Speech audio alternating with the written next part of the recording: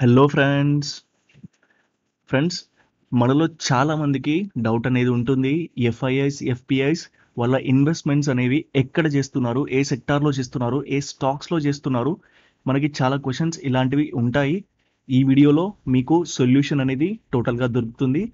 FPIs FIIs వాళ్ళ investment ఏ సెక్టార్లో చేస్తున్నారు? ఏ సెక్టార్ నుండి వాళ్ళు ఎగ్జిట్ అవుతున్నారు? నేను క్లియర్గా మీకు ఎక్స్ప్లెయిన్ చేసి చూపిస్తాను. ఫ్రెండ్స్ మీకు ఈ వీడియోలో సెక్టార్ అనాలిసిస్ తెలుస్తుంది. అంటే ఎఫ్ఐఎస్ ఎఫ్పిఐస్ వాళ్ళ ఇన్వెస్ట్మెంట్ పోర్ట్ఫోలియోస్లో ఏ సెక్టార్ని యాడ్ చేసుకుంటున్నారు. వాళ్ళు ఏ సెక్టార్లో మనీ ఫ్లో అనేది పెంచుకుంటున్నారు. మనకి తెలుస్తుంది. స్టాక్స్ పర్టికులర్గా మనం మళ్ళీ అనాలిసిస్ చేయాల్సి ఉంటుంది. And FIIs FPIs derivative data మీద కూడా వీడియోస్ ఉన్నాయి ఫ్రెండ్స్ ఇప్పుడు మీకు ఏదైతే చూపిస్తున్నానో ఇది క్యాష్ సెగ్మెంట్ డేటా మనం మనకి ఇందులో డెరివేటివ్ డేటా అనేది ఉండదు. ఓన్లీ క్యాష్ సెగ్మెంట్ మాత్రమే ఉంటుంది.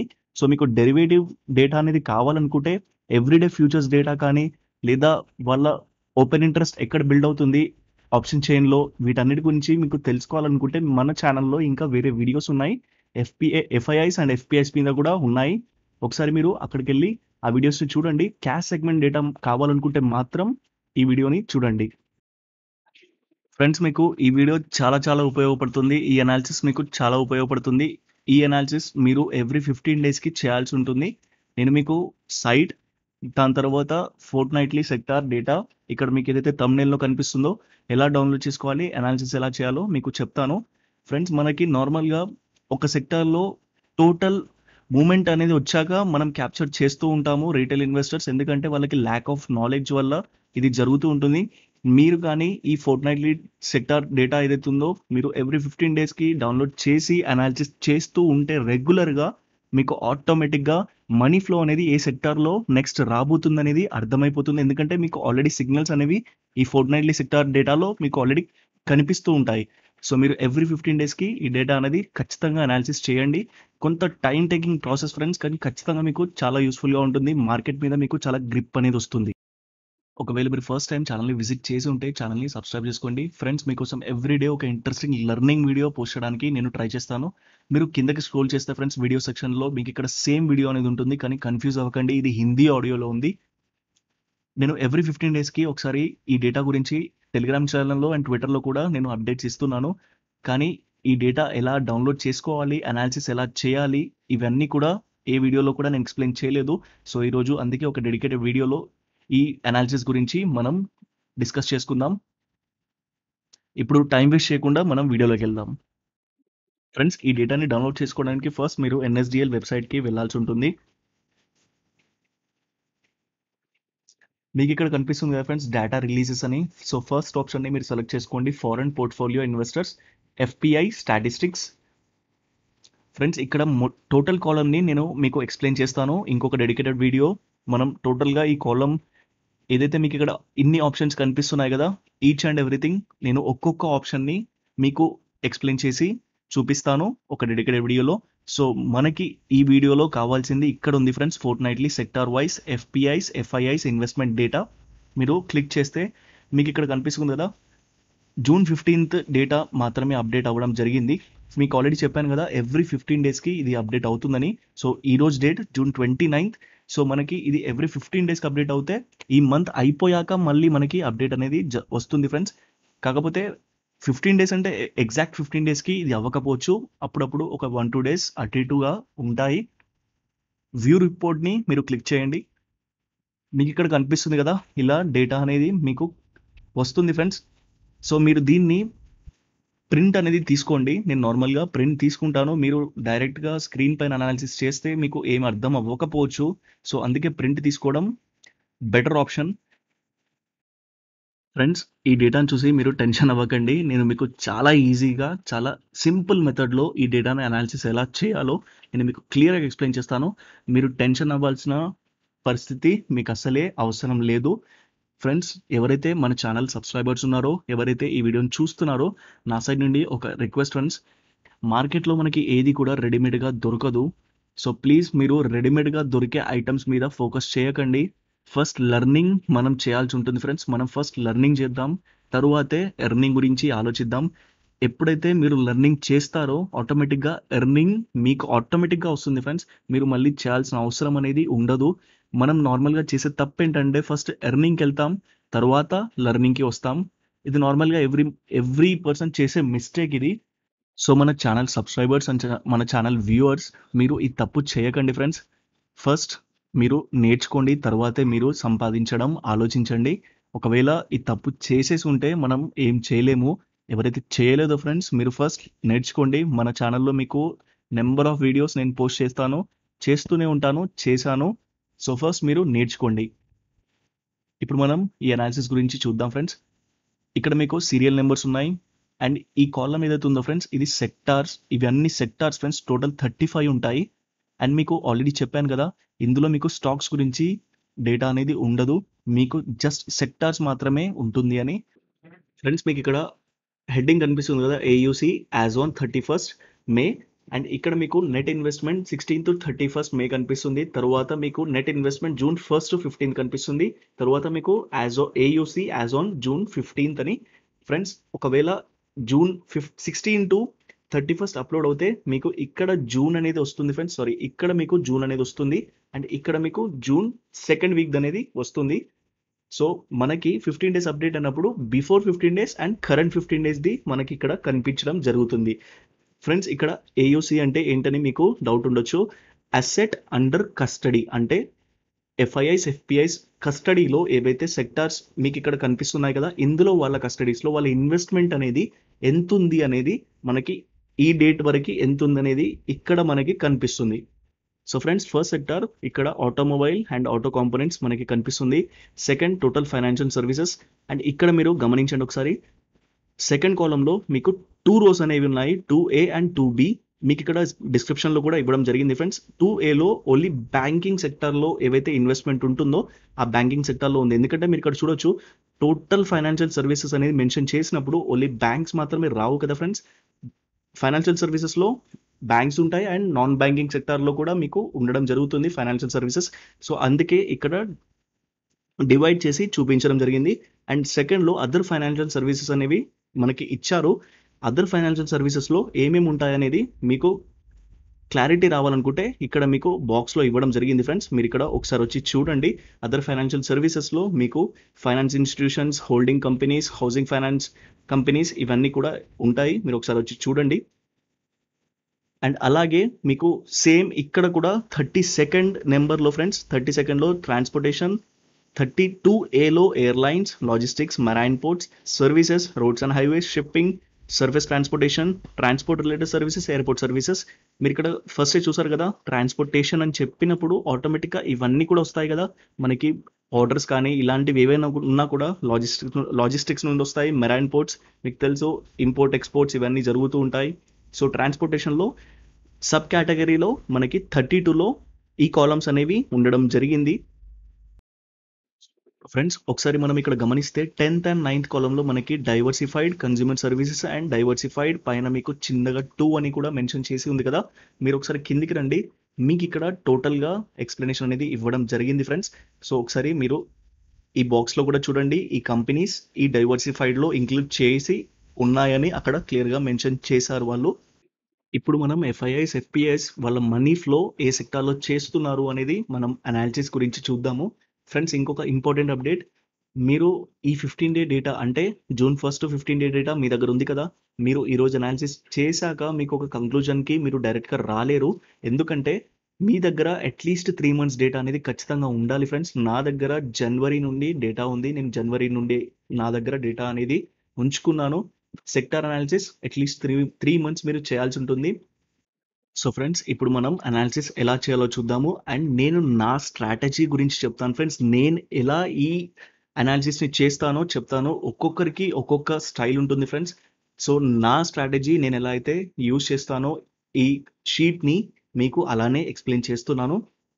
ఫ్రెండ్స్ నేను నార్మల్గా ఇక్కడ మీకు ఏదైతే ఈక్విటీ సెగ్మెంట్లో ఇక్కడ మీకు కనిపిస్తుంది కదా మీకు డెట్ గురించి వీటన్నిటి గురించి మనకంత అవసరం లేదు ఫ్రెండ్స్ మనం ఈక్విటీ ఒక్కటే కాన్సన్ట్రేట్ చేద్దాము. అంటే క్యాష్ సెగ్మెంట్లో మీకు ఇక్కడ ఏదైతే నెంబర్స్ ఉన్నాయో ఇందులో హయ్యెస్ట్ నెంబర్స్ నేను అట్లీస్ట్ త్రీ చూస్ చేసుకుంటాను. అంటే ఫస్ట్ సెకండ్ థర్డ్ ఫస్ట్ దానికంటే సెకండ్ కొంత తక్కువ ఉంటుంది సెకండ్ కంటే థర్డ్ కొంత తక్కువ ఉంటుంది సో మీకు అర్థమైంది అనుకుంటున్నాను?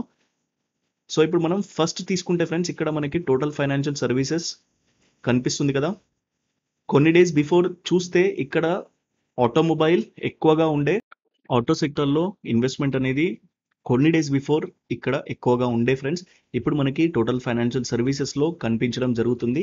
ఫ్రెండ్స్ నేను మీకు మార్కెట్ యొక్క సర్కిల్ గురించి ఎక్స్ప్లెయిన్ చేస్తాను. మార్కెట్ ఒక సర్కిల్లో ప్రాపర్గా వెళ్తుంది. అంటే ఏ సెక్టార్ ఎప్పుడు పర్ఫామ్ చేస్తుంది ఏ సెక్టార్ ఎప్పుడు పర్ఫామ్ చేయదు అనే టాపిక్ పైన నేను మీకు క్లియర్గా ఒక వీడియో అనేది తీసుకొస్తాను. ఫ్రెండ్స్ ఎప్పుడైతే మార్కెట్ కిందకి వెళ్ళడానికి రెడీగా ఉందో మార్కెట్ ఫాల్కి రెడీగా ఉందో మార్కెట్ కరెక్షన్కి రెడీగా ఉందో అప్పుడు ఫస్ట్ ఎఫెక్ట్ అయ్యేది మాత్రం ఫైనాన్షియల్ సర్వీసెసే. ఎప్పుడైతే మార్కెట్ పైనకి వెళ్ళడానికి రెడీ అవుతుందో ఫ్రెండ్స్ అప్పుడు ఫస్ట్ పైనకి వెళ్ళేది ఫైనాన్షియల్ సర్వీసెసే. సో ఇక్కడ మీకు రీజన్ ఎక్కువగా కనిపించడానికి ఇదే రీజన్. మనం మార్కెట్ ఫాల్ని చూసాం కదా తర్వాత మార్కెట్ రికవర్ అయ్యేటప్పుడు ఫస్ట్ పైనకి వెళ్ళేది మాత్రం ఫైనాన్షియల్ సర్వీసెస్ ఫ్రెండ్స్ సో అందుకే ఇక్కడ మనకి ఇన్వెస్ట్మెంట్ అనేది ఎక్కువగా కనిపిస్తుంది.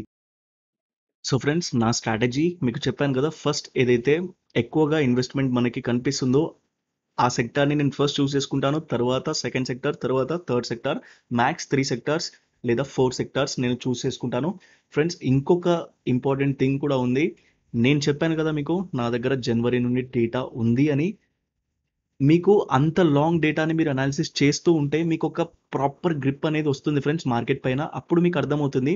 మీకు కన్సిస్టెంట్గా ఈ సెక్టార్స్లో ఒకవేళ ఇన్వెస్ట్మెంట్ అనేది తక్కువగా కూడా ఉండొచ్చు. కాకపోతే కన్సిస్టెంట్ ఇన్వెస్ట్మెంట్ ఒకవేళ నాకు కనిపిస్తే నేను ఖచ్చితంగా ఆ సెక్టార్ని కన్సిడర్ చేస్తాను. ఈ హైయెస్ట్ ఇన్వెస్ట్మెంట్ వాల్యూ కంటే కూడా నేను ఆ తక్కువ ఇన్వెస్ట్మెంట్ సెక్టార్నే కన్సిడర్ చేస్తాను. ఎందుకంటే ఆ సెక్టార్లో ప్రాపర్ కన్సిస్టెన్సీ ఉంది కాబట్టి. సో ఫ్రెండ్స్ ఇప్పుడు మనం ఇక్కడ అనాలిసిస్ గురించి చూద్దాం. ఈక్విటీలో మనకి seven lakhs six thousand three hundred ninety crore ఏదైతే ఇన్వెస్ట్మెంట్ ఉందో మనకి టోటల్ ఫైనాన్షియల్ సర్వీసెస్ అంటే ఇవి రెండింటిని కలుపుకొని మనకి ఇక్కడ వాల్యూ అనేది చూపించడం జరుగుతుంది కదా. ఇందులో బ్యాంకింగ్ సెక్టార్లో ఫ్రెండ్స్ మీకు ఈ టూ కాలమ్స్ని చూడాల్సి ఉంటుంది. Net investment May sixteen to thirty first net investment June first to fifteenth అంటే మే సెకండ్ వీక్ ఇక్కడ మీకు ఏదైతే fifteen sixteen to thirty first ఉంది కదా అండ్ జూన్ ఫస్ట్ ఫిఫ్టీన్ డేస్లో మీకు ఈ రెండింటిలో చేంజ్ అనేది ఇక్కడ చూడాల్సి ఉంటుంది.